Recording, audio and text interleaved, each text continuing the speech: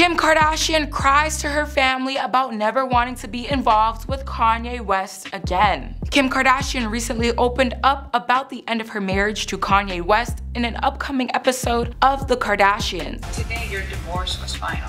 Yeah. I don't know how Kim handles everything with her ex-husband. I don't think you realize the weight of the world is on your shoulders. Despite having gone through a period of grieving, it was evident from the preview that Kim is still sentimental about their past relationship. She was seen painfully shifting through musical equipment she believes belonged to Kanye in a storage warehouse and admitted, this is me holding on to the Kanye that I know, but when you know it can never get back there, that's what sucks and that's what's hard. Kim Kardashian recently shared her struggles with her ex-husband Kanye West's outbursts in an emotional chat with her sister Khloé. Kim expressed her regret and heartache at the disconnect between the person she married and who he is now. It's really confusing for me. It's so different than the person that I married because that's who I loved and that's who I remember. Saying that she often searches for any glimpse of the former person in hopes of restoring the relationship. I'll do anything to get that person back. Kim admits that she hasn't had the difficult conversation with Kanye about his troubling anti-Semitic rants as she fears that it will trigger yet another outburst from him. Despite having to cope with such a situation, Kim still feels remorseful for her ex-husband and believes that he does not have any sense of what he has been doing wrong. I feel guilty that I posted something in support of the Jewish community, then people dropped him today, and I'm like, is that my fault? I'm like, no, I posted that, and did that like push them?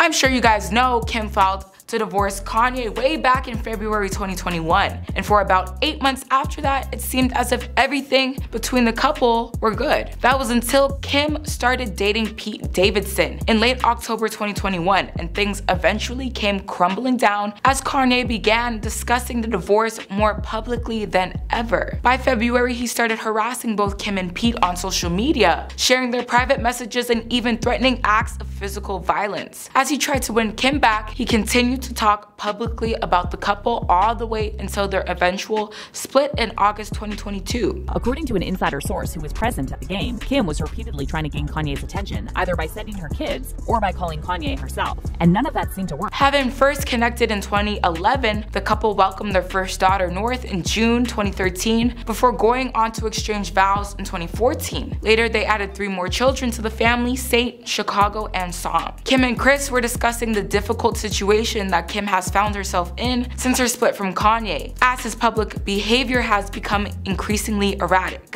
Kim tearfully admitted that it feels like she is stuck with this for life, to which Kris reminded her that it isn't her job to control him anymore and that he's doing this to himself. In her confessional, Kim revealed that she still holds back from expressing her true feelings about Kanye for the sake of their four young children who don't know the extent of their father's behavior. She continued by saying how she used to be a cleanup crew spending hours trying to protect him from criticism.